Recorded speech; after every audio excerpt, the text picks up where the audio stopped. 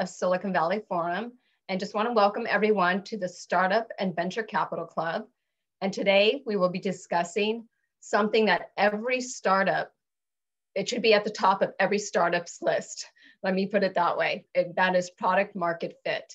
And I want to thank everyone for joining us here today. And just a reminder that today's event is being recorded and everyone will remain muted throughout the duration of the program.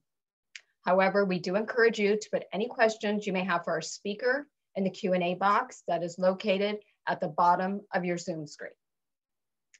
Before we get started, I would like to thank our partners at Hopkins and Carley, who are a Silicon Valley law firm.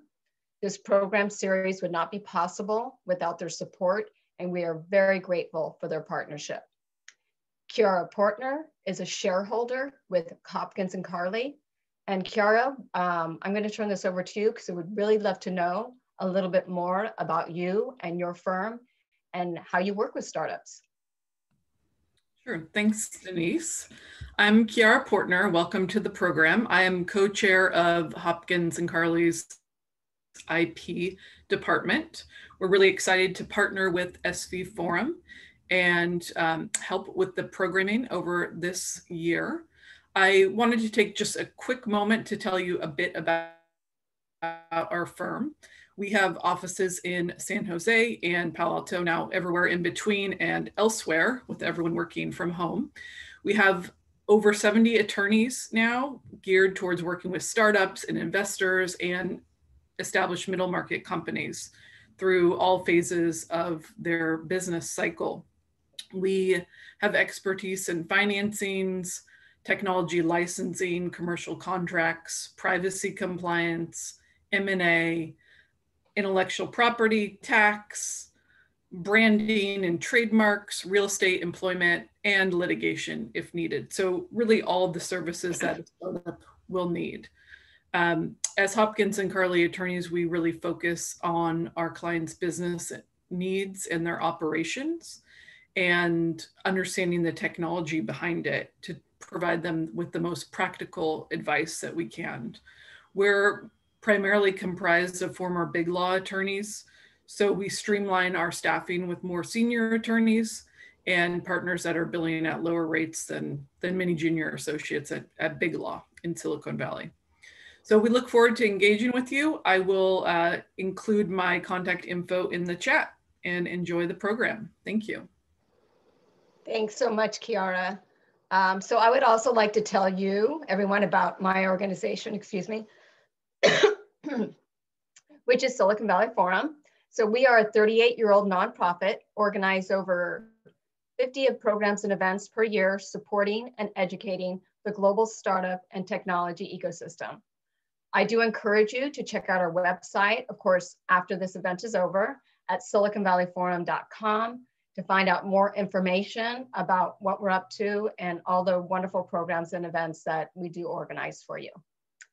We are very excited for today's event, your virtual guide to product market fit.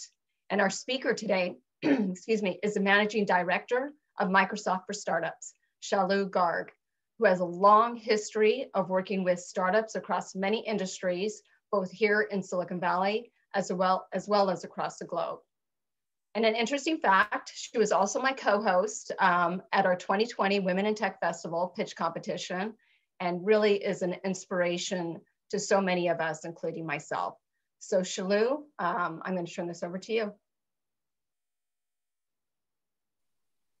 One moment. Um, Shaloo is having um, trouble with her internet, so she's just gonna reboot her computer really quickly.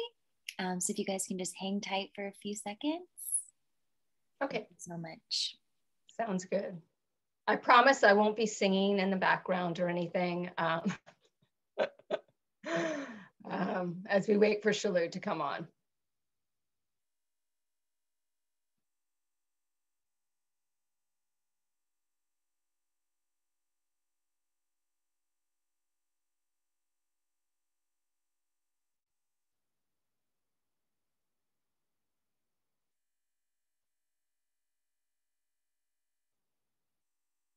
So in Silicon Valley, apparently we still have technical difficulties, right? I think she's coming up now. Looks like she's here. Yay. Hey guys, I'm so sorry. This has been like a tech crash course one on one. Okay, we're glad you made it in. Shaloo, always making things interesting for us. I'm like, why does this happen to me? Denyse, if you remember last year when I spoke, my camera gave up on me. I do remember that. What happens?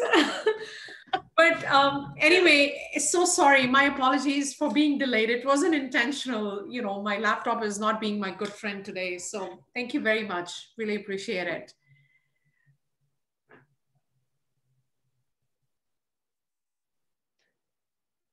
So will you be sharing your screen with us today, Yes. Shaloo? Okay, I'm, I'm just pulling this up. Hopefully there are no issues there. So just give me one second. So while I'm doing that, um, hey everyone, happy Thursday to you. Hope you're doing well, staying healthy wherever you are. Thank you very much for making the time to join this conversation today. I want to thank Denyse. I want to thank Amanda, Shira, everyone out there who who just you know gave me an opportunity to be here. I got to tell you, uh, product market fit is one of my favorite topics. I just I can go on and on about it because in my view, I at least the space that I spend majority of my time in, which is mainly with entrepreneurs, it all comes down to am I doing the right thing? Am I building the right solution? Am I going to have a customer who's going to buy whatever I'm building? And it doesn't necessarily have to be a technology solution, it can be a non technology solution as well. So when Denyse reached out to me, I'm like, yes, let's do this. So very excited to be here. Um, I do have a few slides here, but I prefer to use the slides more as a driver for the conversation. I love to engage. So I have my chat up here. If you have any questions, if you want me to pause, dig deeper into something, please, please feel free to uh, jump in, add color if you want, and we'll do this together. All right. So with that, Denyse, I don't know if you have any opening comments or should I just uh, dive right into it? Just dive right into it. Okay, so you know, I, I find this picture very interesting. You can see there are two bowls right there, and there are oranges. A few of them are spilling from one bowl into another. And I literally view the product market fit conversation exactly like this. So if you were to ask me to paint a visual, although I'm not a good painter, but still, I would say, is building a product really solving a problem? Or are you just doing it because you see a gap. You believe there is a gap that exists out there. And so you know the, the core theme that i will use across the next uh, few minutes is is the orange grown to fit in the bowl right? So are you building a solution that's really solving a problem or you're just trying to put pieces here and there and say gosh like this is the most amazing thing i'm doing in this entire world with that, um, I will just get into my, I don't know if Denyse, you've introduced me, but I, I work with Microsoft, but uh, outside of that, I am associated with UN Women. I'm a Forbes contributor as well, love writing about diversity and inclusion and all the good stuff that's happening in the social impact space. So with that, let's get into the top three questions that I usually ask entrepreneurs. So, just to give you a little bit of background as to what my daily life looks like, I spend 90% of my day, other than my kids, but 90% of my day just meeting and talking to entrepreneurs. So, for me, it is super critical like if you if you ever meet me in real life or you know if we have um, a zoom call or whatever and if you say gosh like you know I, i'm building this i have this startup and this is my vision i usually tend to get deeper into your personal story which is you know why are you doing it? What what is your main driver? And oftentimes it's very interesting where people say that you know i'm building let's say a solution or i'm building an ai algorithm to figure out if there is even some sequencing around cancer um, primarily because my mom had cancer, right? So there, there are just amazing mission related stories that I come across. But the big thing is why are you even building the product? Why are you even doing what you're doing? And there are variety of spectrum of responses. I, I've often seen founders say, gosh, like I really believe in it. I, I really do. I think, you know, this is the best thing that can ever happen. But the big question is, is that enough? like your belief, your conviction, your passion, your goal in life, is it really enough to drive the business for you? And when I say drive the business, I don't necessarily mean or insinuating that it's purely for a commercial startup. It can very well be for nonprofit startups as well. So, is belief enough? That's the number one question. The other thing is who's going to buy the product? Right. So, the next thing is all right, so you're building something. Well, who's your consumer? Is it your neighbor? is it you know a big large enterprise is it a 10 year old girl is it a teenager like who is buying your product and oftentimes when especially in the early stage of companies like seed pre-seed when you know an entrepreneur is still trying to figure out like do i go with beachhead strategy which is really focused or do I keep it really broad so that i can get whatever i can. The answer is often ambiguous. And again this is across the spectrum which is you know yes i know i know exactly who's going to buy my product. Or you know what? My product is so generic that anybody can buy this product which is awesome. I mean i'm yet to come across a product that that is valuable and applicable to everything. The other question that that often you know we we look for when we are evaluating a product market fit is how am i going to build the product right so on the surface, if we look at the previous two facets, one is, well, why am I even doing it? Who am I doing it for? And then how am I going to build the product? So it's very critical to focus on the team angle here. And, you know, as you can see, my responses there is, gosh, of course, I'm going to hire top talent. But is hiring top talent enough to sustain the company that you're building? is hiring top talent enough, sufficient to contain the passion that you're building the solution with? Right. So I, I just wanted to use this as an icebreaker and put it out there that oftentimes when we look at product market fit, it's not just about looking at what's the gaps that you're trying to fill in, but there's a much broader conversation that goes into it. Now, if you look at this slide, let's take a back step and I'm sorry, I'm not able to see my chat here, but I'll get right to it. Is any anyone here who thinks that you know early stage? I know there are a mixed of uh, audience here, but anyone out there who ever started a company saying everybody is my buyer? I still haven't figured out who my um, audience or who my buyer is going to be, but guess what? I'll still do it. Anyone out there? Okay, sorry, I'm not able to see the chat. So let me keep moving. So other than this, um, I'm going to frame these questions again, and then we'll draw some distinction between both, which is, once again, why are you even building the product? The most responsible, and I use the word responsible with responsibility, the most responsible response out there is, because there is a 25%, and this is just an example, X percent of total addressable market size that's sitting out there, out of which only Y percent has been penetrated. That means it's enough for me to go out there and challenge the market that's out there, which is disrupting what's already out there. The other thing is who's going to buy the product. Now we're getting a bit more deep, deeper, which is maybe it's vertical oriented, maybe it's fintech, a specific genre of of um, startup that may be out there, which is, um, you know, I really want to go for a mixture of fintech with AI or fintech with machine learning, so on and so forth, market segmentation, etc. And then last but not the least is how am I going to build the product? Guess what? The previous response was I'm going to hire top talent. Here it is, build a team that's passionate. That's going to help me be successful.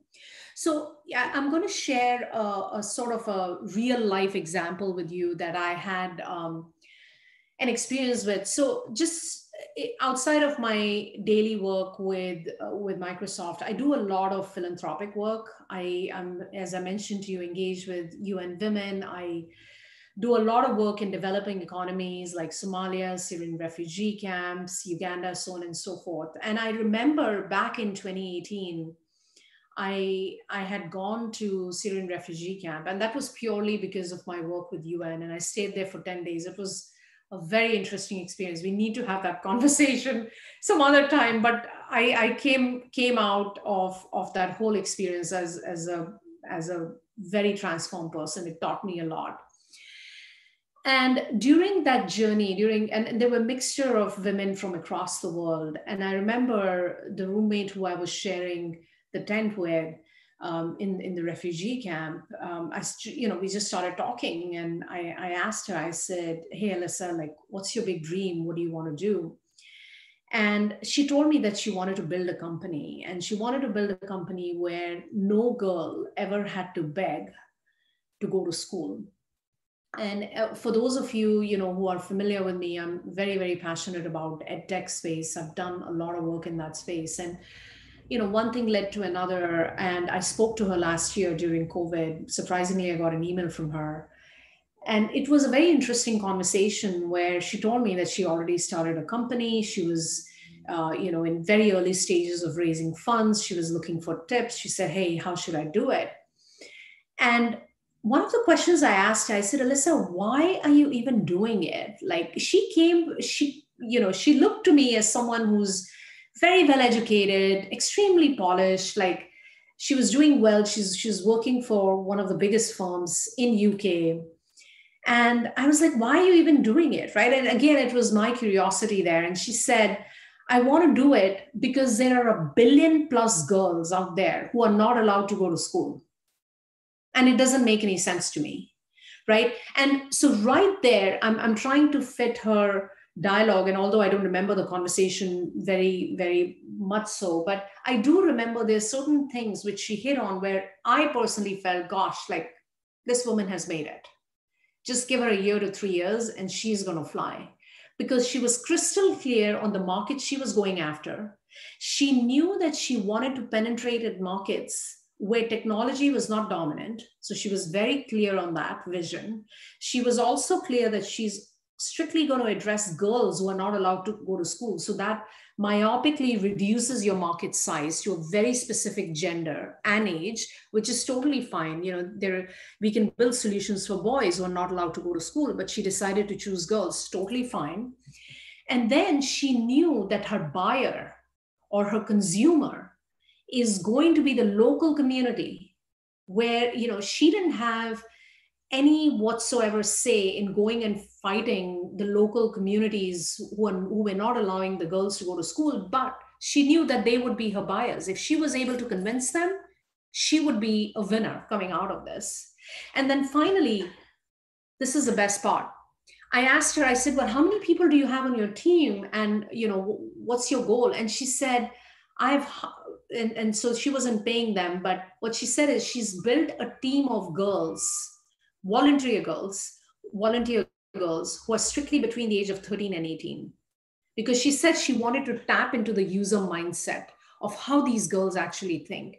And so the reason I share this the story with you is to me personally, you know, as I said, I meet a lot of founders on daily basis. It was very powerful because coming into the, the business that she was setting up, she knew the product that she was building and she also knew her market very well. And that's the power that a good thoughtful process holds. And and of course you know the the larger spectrum of of the conversation here is you know how do you figure out that sweet spot that that you want to dive into? So with that i am and this is me coming from experience here is three non-negotiable facets for product market fit. I honestly i think there are a lot of brilliant ideas in this world and very few are executed well. And there is a reason for it right? You need good wisdom around you. You need good experienced people. You need coaches and mentors. And i always say this like uh, never feel shy to ask someone to be your coach. I have coaches who are in their early 20s. Like I've got millennials as my coaches. I go, I talk to them and I say, guys, like, what's going on? Talk to me in your space. Right. And I have coaches who are super experienced, who are, you know very close to retirement and they have been ceos all their life and so it's very important to to sort of bear that in mind as i'm going through this so non-negotiable facets in my view number one is you absolutely need to know what you're doing this passion on passion is one thing right? So let's say if coming back to that orange bowl example that i that i had up front if i'm passionate about you know eating oranges let's say i love eating oranges and gosh like i'm growing a tree in my backyard because i love it right? It's purely because of me my need my passion but what if the tree has so many oranges growing that it starts falling and it starts getting rot- rotten out there i'm actually not leveraging or capitalizing on something that i am building with me right now. And so it's super critical to have that crystal clear clarity on what my total addressable market size is. And with that comes the questions what problem am I solving? What does the market really comprise of, right? Back to the question of uh, the example of Alyssa that I shared with you, where she was very myopic. She said, Hey, I've seen this world, I've seen this space. I really want to build solutions that will help young girls go to school who are not allowed to go to school. So it's very critical. And I, I think it comes also with experience and bruises, right? And I use the word bruise because you fail quite a few times. Firstly, you're trying to figure out, like, what am I doing? You're scrambling. And then you just go and build it. And sometimes you fail. God forbid you don't, but sometimes you do. And that's okay. That's where you learn the lesson from that maybe I should have done it some, some other way. The next is who's the buyer? I think it's very critical. And I see so many entrepreneurs struggling in this space. When I ask them, well, how are you going to monetize the product that you're building and who is your buyer? They fumble. They don't know who their buyer is. And I think it's very clear. Spend time. And this is something I tell most of the entrepreneurs like, there's no rush. We, nobody is in a rat race here to go and launch a startup, unless, of course, if you have a personally driven reason. But take time to do your due diligence in understanding who your buyer is and then build the profile of your buyer um, and, and make sure you get deeper into the behavioral facets and the buying patterns of that buyer. Next is competitive landscape. I mean needless to say if you're out there as a founder as an entrepreneur playing you you got to know who your competition is whether it's large incumbents whether it's other startups does not matter. Like you you got to know who your competition is and you literally have to keep up to speed on that. Next is the value prop. Again it sort of ties into competitive landscape. If let's say you have 10 other competitors then what is the unique value proposition that you're bringing to the table? And that's very very critical. And i have i have often seen the the, the new i would say um, the realm of startups that I'm seeing in the COVID world that are being born, as we call born in COVID space, it's just amazing how smart the entrepreneurs are. Like we are picking the game really well, and we are thinking through digital transformation, especially in in B two B products that, that that I have seen, where you, where entrepreneurs are ahead of the game that you know in covid if we were challenged with xyz i'm going to build a product that will not only help you resolve your problem, but also help you diversify in other industries. So, lots and lots of great examples there. The other question I would say is Are you really disrupting? Or are you just iterating? And you know, this is a very interesting question that that actually I was asked. Um, prior to me joining Microsoft, I was at Oracle, and I remember when I was leading the startup space there, I was building the startup practice for Oracle. I remember um, I was taking one of my startups to a Fortune 500 company in New York City. And I was flying with this founder uh, in good old times when you could fly United, which seems like a paradise now. But I remember flying from San Francisco to New York, which was, you know, over six hour flight. And we were sitting and chatting. We were just sitting together. And it was, you know, I, kept asking him, I said, look, are you ready? Like, this is game time. Make sure you have your, your you know your game ready. We are meeting with the cio this is one short thing.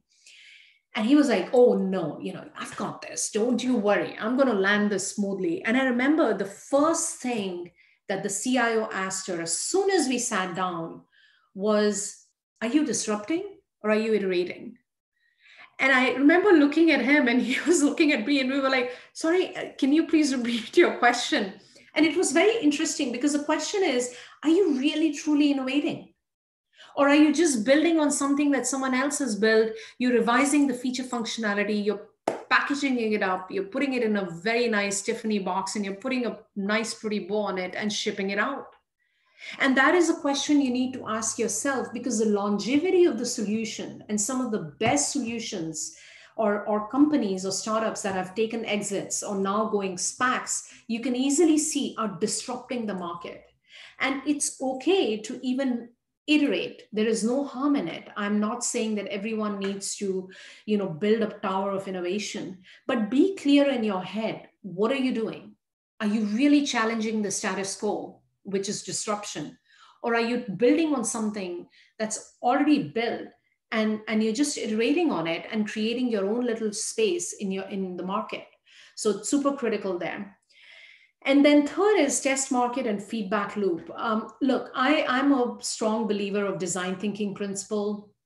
I've been using it forever, ever since I did my MBA. And every single role that I've had, I apply the principles of design thinking. I still do it today. If you come even to my home office, I have post-its all around my table because that's that's how I work. I think it's very important to be grounded in, in as you're building your company and I, I have seen some of the best solutions fail because the founders or the team feels that gosh like this is the best thing and nobody can beat us. And guess what? Someone comes in your backyard lands take a, sm- a, smooth landing and takes your customers away. You don't even know. So it's very important to listen to your customers your partners friends and competition. Because someone somewhere is talking about what you're building. And you need to build a loop a feedback loop without any bias, without any judgments, and be open to taking whatever comes your way, saying, like, tell me, how am I doing? You know, what else can I do differently? And take that to grain because it's, you never know where that feedback can take you. And I remember um, meeting an entrepreneur about three years ago who took some feedback very seriously from actually one of you know he was he was at a vp level and i remember like it was three levels down. Uh, and and this gentleman was still he was in a corporate role and he was thinking of quitting and building his own company. And he got feedback from someone really lower down or junior on his team less experienced. And he took that feedback and he actually took it seriously right? And and acted on it when he built the company. So you know I, that's something that i believe in as well. Hopefully one day i'll become an entrepreneur myself but that's something that that i truly believe in is that feedback loop is very important. So with that i know we have just a few minutes here. I see um, some questions coming in. Let me just quickly look at it. Um, all right i'm, I'm just going to read this before I move into my words of wisdom, which is totally a pep talk. But let's look at this. So Nicholas says, from experience, what is realistic time frame to achieve product market fit? So great question. I would say it can it can vary, right? I mean, sometimes you are you're such a strong believer of the gap that you have seen in the market that you're sleeping, drinking, you know, eating the solution that you have, and you you tend to get there faster Sometimes it takes months, and sometimes I've seen years. Let's not forget Uber, how Uber came in. If you go back and read the story of Uber, which I now believe is being shared in all the management schools, Ivy Leagues like Harvard and Stanford and others, is it took two and a half years for the founders of Ubers to actually get a product market fit because nobody could relate to the fact that somebody what? Like somebody would come to my door and pick me up? Really? And i don't even have to use cash? How can i sit in a car with a stranger? I, I don't feel safe right? But it took them two and a half years to convince the market that you can do it. And it is economical. It's safe not always but that model can be executable so it really depends but you know my recommendation is spend as much time as you can upfront in doing that product market fit because that's really the building blocks of what what you will be building as a company All right, there's another question um, from Larry. Appreciate your perspective today. Thank you, Larry, for the kind words. Many of the key things that you highlight, humility to ask for coaching, are essential for successful company, but seem to go against the popular impression of the VCs. Look, gosh, who, Larry, I want to talk to you. I get this so much. So, do you think VCs are at risk of encouraging the opposite set of traits? You know, I so so let me tell you this. I, I have some really good friends um, who are venture capitalists and i have sat in all kind of evaluations i have seen companies being rejected on reasons that i just scratch my head i'm like why like why did we do it and you know two three years down the line you see those companies doing so well. Um, the the common i would say perception of venture capitalists in silicon valley is all over the map right? There are some that are super friendly. There are some that you never see, you never hear from, and there are some who are still emerging. So it is a Silicon Valley perception, and I think slowly it's also filtering into UK. I see that happening a lot in Dubai right now in UAE. That's one of the markets I track very closely because there's so much goodness there in terms of innovation. I, you know, it's it's sort of a personal thing that I would say is humility should continue at a personal level even if I have someone arrogant sitting across me and you know shows that I'm not good enough or my solution is not good enough, I'll take that as a positive feedback. But it is it is a tough market, Larry. I, I completely agree. And and you just have to, you know, keep your head down and keep pushing. That's that's all I can say. Hopefully that was helpful. So with that, um, quickly, I know we have 20 minutes here. I want to make sure we give um, time for other Q&A as well. Uh, let's move on to, all right. So, you know, this is something that I usually share, and I th- these are my personal beliefs, which actually go beyond product market fit. So they are not just relating to product market fit, but whenever I speak to entrepreneurs on topics like culture and not giving up and staying persistent and being tenacious enough to challenge the status quo in times of ambiguity, right? There are a few things that I have learned, and I have learned this from my mentors, my coaches. I've actually learned it from entrepreneurs as young as 16, 17 year olds. And I apply these principles in my daily life myself.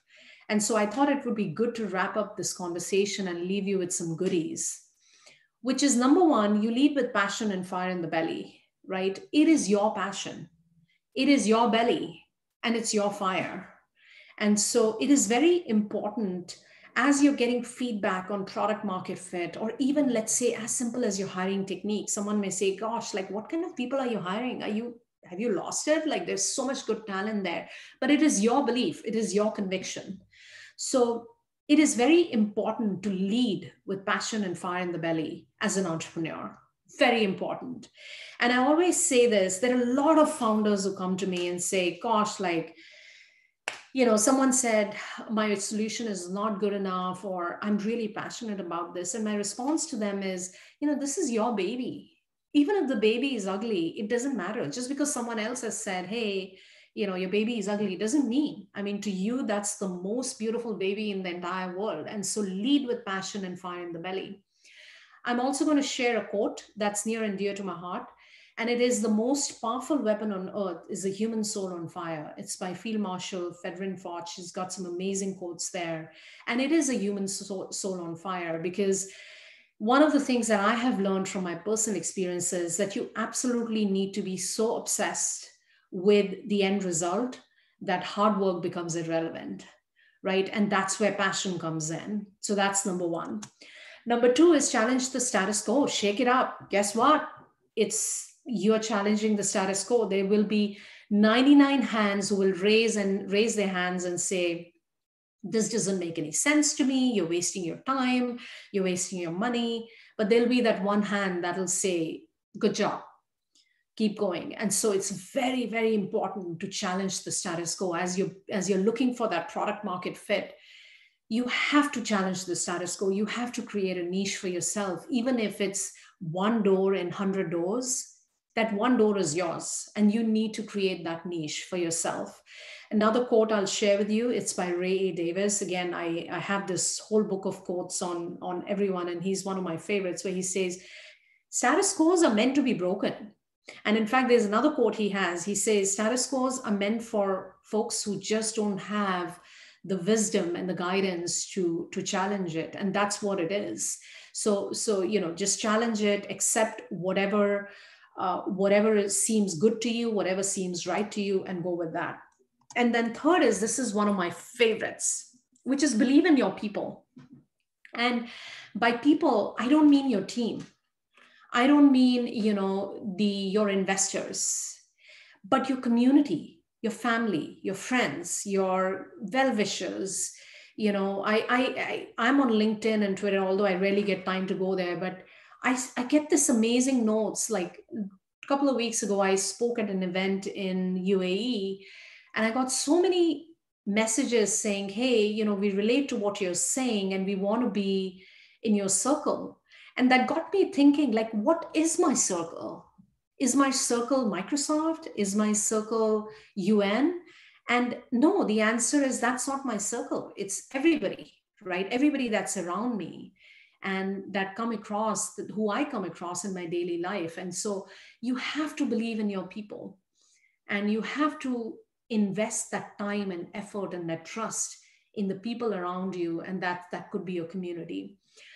I'm going to end on a high note here. Michael Jordan, one of my favorite athletes, um, I love this. And in fact, every year when I'm sending holiday goodies to my customers or my partners, this is one, uh, you know, the notes that go out. I always, always say this, which is, you know, talent win games. Games are for, for folks who are really good in what they do. But if you want to go for the big championships, you need teamwork, right? You need the right people as part of your team. You need people who can support you, who can ground you, and not just rave about you and give you an ego boost when you're doing well. You need people who can tell you that, gosh, you suck, and here's how you need to improve. And so, with that, I'll pause here. I know, I hope I've not gone over time here and see if anyone has any questions, any comments. And I'm trying to, I see there are some Q&As here. Denyse, if you're okay with it, I will quickly, okay, those were the two that I've already answered. There are um, two questions uh, in the chat box. Um, okay, I'm sorry. I will just stop sharing so that I can actually get to this. All right. Uh, da, da. Uh, sorry. Okay. Hi, Shaloo. Do you think, um, and I'm sorry, this is from Nick. Do you think that a pure number driven why is enough to really build something sustainable? Meaning, when things get tough in 25% TAM and 6% market penetrated enough to justify your blood and sweat?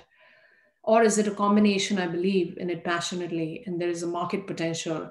Yeah, I think I think that's a very good point. Um, once again, you know, and I and I included that as an example purely just to set some perspective that just because you know you have oranges going and growing in your backyard doesn't mean that now you're going to create a market for it. It's it's your understanding of your conviction that yes you know there is a market for it and data plays a big role. So i i absolutely completely understand and and agree with you that there has to be a market potential or absolutely create a new market for it. And you know that's that's where the real entrepreneurship comes in. If, if you look at some of the most amazing solutions like i gave you an example of uber nobody even thought that Uber would exist. Now you have the brothers and sisters of Uber all across the world, and they are they are following similar business models. All right, um, I have another question from ANV staff. Do you have any suggestions for looking at a market for older adult senior citizens, specifically older women, 65 plus, started a nonprofit? Yeah, I mean, would love to chat with you. There are so many um, in fact i can connect you to some really good investors and people who are who are deeply invested in this space. There's definitely a market and you know it'll it'll depend on what solution you're offering to that market right? Of course there are a lot of um, lot of compliance issues that come in a lot of lot of gated issues. But yeah i i absolutely now you haven't mentioned your solution but would love to chat with you and see if there's anything i can do to help you there. Um sorry let me just take this. Shaloo i coach a lot of entrepreneurs and they always ask me when is the right time to stop trying to find a product market fit without success and pivot? Man this is an amazing question. Um Oh, it's a tough one. You know, I would say don't give up, but honestly, I have seen entrepreneurs sell their homes, come really low financially, and they're still not ready to give it up. And I think this question was asked earlier like in what time frame do you think? I would say give it a few months I have actually seen a year to year to go and keep continue trying. But ultimately, my two cents here is you need to surround yourself with people who will give you good guidance. And that would that should be a combination of definitely have investors. And by investors, I don't mean people who are looking to invest in your business. You can actually go to some really awesome investors and say, hey, I just need 30 minutes of your time what do you think um, i think it's important to do that it's important to stay connected with folks who are on the ground with startups like myself there are many others and continue getting guidance. Um, it's very important and it's super important to stay in touch with reality and you know sometimes it doesn't work out and um, sometimes you get exits. And some of the toughest stories that i've heard some what actually more some of the most successful stories that i've seen or heard about have tremendous amount of persistence and hard work that have gone in not that others don't but i just just want to share that um, you know it's a story with everyone i don't think there's any entrepreneur who's come out saying gosh like i figured this out in a week and I'm out. I got an exit in three years. It, it takes time and persistence. And that's why, you know why? That's why it's called entrepreneurship. That's why it's called innovation. And that's why it's called disrupting the status quo. So, you know, hats off to you guys who, are, who are definitely doing this. Sure, Michelle. Thank you for such an awesome question. Um, Shalini, I got your email ID here. We'll definitely reach out. Um, okay, I have another question from Nicholas. Can you maybe give an example when iteration becomes disruptive innovation? Yeah, you know, um, it's interesting you asked that question. I so so there is a um, AI solution that I was I was looking at, and actually I was evaluating them. One of the investors who I work with had reached out to me for my perspective and said, "Hey, you know, what do you think? Do you want to just talk to this founder and figure out what's going on. We are looking to invest very early stage, but you know, would love to hear your perspective from a technology angle. And that's when I get involved because obviously I'm on the tech side and I can go deeper in the technology. But I remember this um, gentleman who was very, very enthusiastic, very passionate about the solution that he was building. I saw his emails come in, Shaloo, like, you're going to make my day the day I talk to you. And I was like, gosh, like, bring it on let's have this conversation right and so i get on a call and we are talking about um, cancer research right? And it's a very hot and volatile topic in healthcare industry. Everyone is looking for that cancer research solution which is you know it pretty much you you get to know that you're going to be a cancer patient in a year's time. I mean imagine the disruption. How many lives will that solution save? And I remember speaking to him and I said, you know, Stanford is already doing this and that research studies are already out there. What are you doing differently? And he said, all I'm doing is I'm building some algorithm, machine learning algorithms. And I'm like, but, but really, I mean, why do you need to start a business for that? You can just go and work with Stanford and I'm sure they'll hire you willingly. You've got the skills. Why are you building a solution? And he said, no, because I want to do it. It's, it's something that I truly believe in. And I told him at that time, I said, look, it's going to be very difficult convincing the health tech investors to invest in your business because it's writing on the wall. This is nothing new.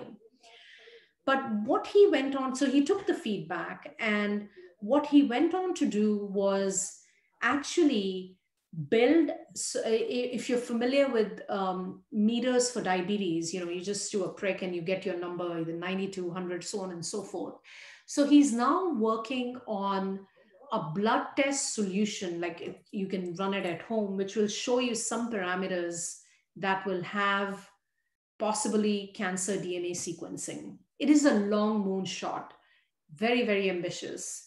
But you know to your question nicholas it's it's almost like you know we're taking him from a point of failure to something brand new which which you know even he didn't think and i and i heard i haven't talked to him lately but i've heard that he's also partnering with stanford on that. So a lot of um lot of possibilities. Once again comes to you know who who is your circle of influence? Who who are the people around you? And um, who can actually drive you and take you to a good point. All right, any other questions? I see one new message. Can you, oh, okay, I got that. All right, Denyse. All right, well, thank you so much, Shaloo. Do you, I just, um, one question, um, do you have any one last bit of advice for um, our audience today before we sign off? Yeah, um, you know, I, I think I mentioned um, earlier on in, in, in my conversation here is um, no matter what stage of growth you're in, in terms of your company size or whatever, you have to be obsessed with it. And whether you're an entrepreneur or not, like I'm obsessed with my goals. And you know, do not take the word obsessed. Like a lot of people say, "Gosh, like you, you've got problems in life." You use the word obsessed, but it is you need to be obsessed with the end goal so much that all the day and night and the work that you spend in you're not complaining it just becomes a slam dunk that hey hard work is a part of it and i got to do it if i need to reach my goal so no matter what stage of company you're in no matter what you're building how far you are from your goals um, become obsessed about it and then go chase it Excellent, excellent. Well, thank you so much. We enjoyed thank having you. you here today, Shaloo. Um, and we want to thank our partners again at Hopkins and, and Carley for making this um, program possible. And also want to let everybody know that the next um, session in our Startup and Venture Capital Club series will happen on March 25th. And um, that session will focus on um, concept to commercialization intellectual property and the path to market. And it'll be also at 10 o'clock a.m. Um, Pacific Standard Time. So we hope you can um, join us then. And thank you so much for um, joining us today. And we hope to see you soon and have a great rest of the day. Thank you.